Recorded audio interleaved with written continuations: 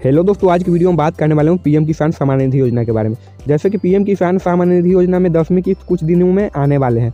और देखिए दोस्तों, आपको इसका बेनिफिट मिल पाएगा या नहीं मिल पाएगा दसवीं किस्त के? आप ई के वाई सी करा चुके हैं या नहीं कराए हैं? तब पर आपको मिलेगा या नहीं मिलेगा। चलिए दोस्तों, इस वीडियो में हम जानेंगे कि आप ई के वाई सी नहीं कराया है तो आपको मिल पाएगा या नहीं मिल पाएगा। चलिए दोस्तों, वीडियो के अंत तक बना रहे। चैनल पर नया हो चैनल को सब्सक्राइब कीजिए और वीडियो को लाइक कीजिए। दोस्तों, आपको चेक करने के लिए सबसे पहले तो आपको पीएम किसान की ऑफिशियल वेबसाइट पर आ जाना है पीएम किसान जी ओ वी डॉट इन मैं डिस्क्रिप्शन में लिंक दे दूँगा, वहाँ से जाके आप ही वेबसाइट पर आ सकते हैं। और इसके बाद आपको क्या करना है स्क्रॉल करके नीचे आने के बाद यहाँ पे आपको ई के वाई सी के नीचे आपको मिल जाएँगे बेनिफिट स्टेटस बेनिफिशियल स्टेटस यहाँ पर घड़ी के आइकन मिल जाएँगे, इस पर आपको क्लिक कर देना है।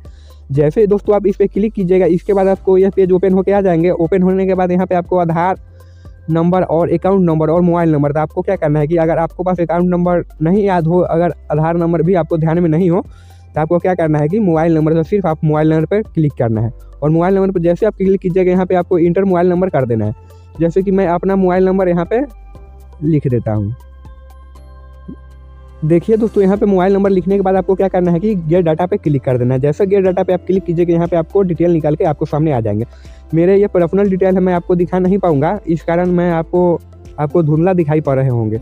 देखिए दोस्तों, यहाँ पे आपको नाम मिल जाएगा और फादर्स नेम आपको आधार नंबर मिल जाएँगे और विलेज आप किस स्टेट से वह भी आपको मिल जाएँगे। सब कुछ आपको पूरा डिटेल दिखा दिया जाएगा। आपको कौन अकाउंट है, नहीं है और किस जिला से है और कब आप रजिस्ट्रेशन कराए हैं, वो आपको सब डिटेल मिल जाएँगे।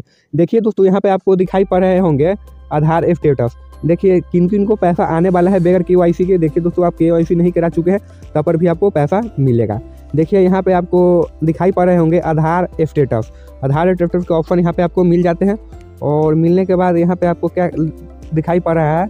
Aadhaar number is verified. देखिए दोस्तों, मेरा आधार नंबर वेरीफाइड है। Aadhaar number is verified. मेरा आधार नंबर वेरीफाइड है तो मतलब ई के वाई सी किस कारण होता है? कि आधार से वेरीफाई करने के लिए होता है। देखिए दोस्तों तो मेरा आधार कार्ड वेरीफाई ही है तो मेरे में कोई टेंशन नहीं है। मेरे को पैसा आएगा, दसवीं किस्त आएगा। इसी तरह से अगर आपको पास Aadhaar number is not verified यहाँ पे दिखाई पड़ेंगे तो आपको ई के वाई सी कराने की ज़रूरत है। अगर दोस्तों आपको यहाँ पर इस तरह से दिखाई पड़ रहे हैं, जिस तरह से मैंने अब यहाँ पे दिखाया, आधार नंबर इज़ वेरीफाइड तो आपको ई के वाई सी कराने की कोई ज़रूरत नहीं है। आप चाहे तो ई के वाई सी करा सकते हैं और नहीं चाहे तो आप नहीं करा सकते तब पर भी आपको दसवा किस्त मिल जाएँगे। देखिए दोस्तों, यहाँ पे आपको पहला किस्त, दूसरा किस्त, यहाँ पे पहला से लेकर यहाँ पे नौवा किस्त तक ऑप्शन यहाँ पे हमें फिल हो चुका है। जैसे कि यहाँ पे अभी डिटेल नहीं चढ़ा दिया गया है, वो अपना वेबसाइट के कारण आप चढ़ा लेंगे वहाँ पे। और यहाँ पे नौवा, दसवा किस्त के देखिए दोस्तों, यहाँ पे पेज पूरा एटो खाली है और मेरा नौवा किस्त भी मिल चुका है और दसवा किस्त आने वाले हैं।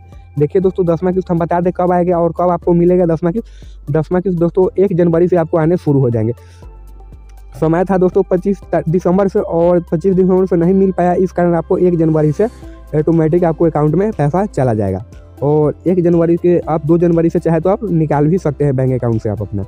दोस्तों तो यह वीडियो कैसा लगा? वीडियो अच्छा लगा हो तो हमारे चैनल को सब्सक्राइब कीजिए, वीडियो को लाइक कीजिए। धन्यवाद दोस्तों, तब तक के लिए मिलते हैं अगले वीडियो में।